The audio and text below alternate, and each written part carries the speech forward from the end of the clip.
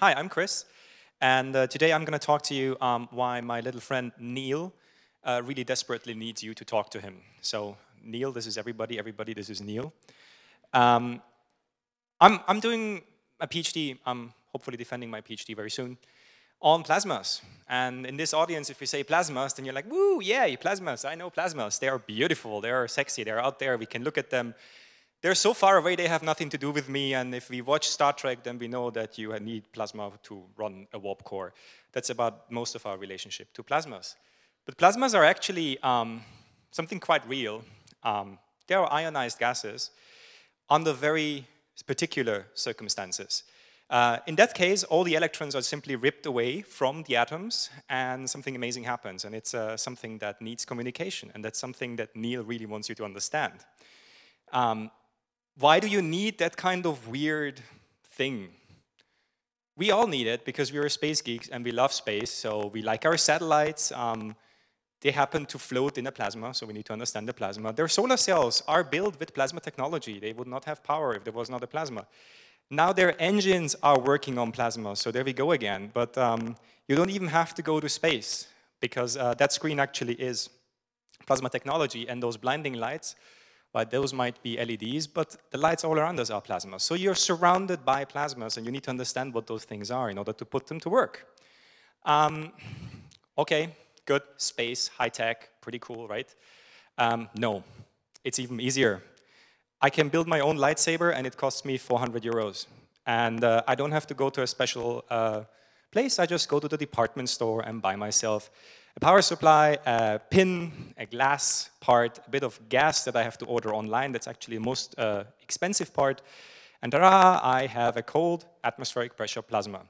It's cheap, it's reproducible, and it's quite awesome. Um, you can touch it because it's cold. And what does that do for you?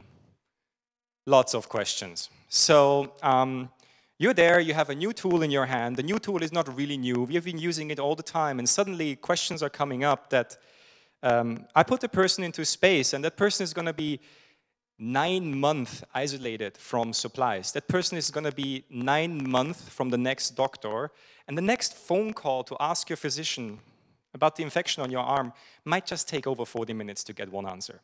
So you're quite isolated, and suddenly you have this new tool, and you say, hey, I can do awesome stuff with plasmas. And this is what my research was about. Um, turns out if you put a plasma in contact with biological cells, magic happens. You start killing bacteria and the skin cells say, yay, plasma. So the skin survives while the bacteria die. And uh, you have a cheap treatment tool for skin cells. And you say, this is amazing. This is, this is why I do research. This is why I'm, I'm so passionate about science. And then you make another test round with the same settings and the same bacteria, and nothing happens. And you're like, okay.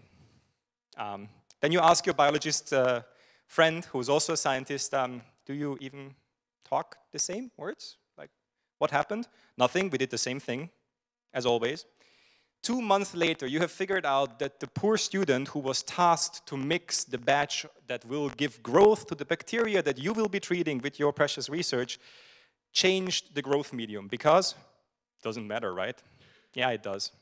Science is super complicated. In my case, it changed everything. So if you make one measurement one day, it works. Another measurement next day does not work.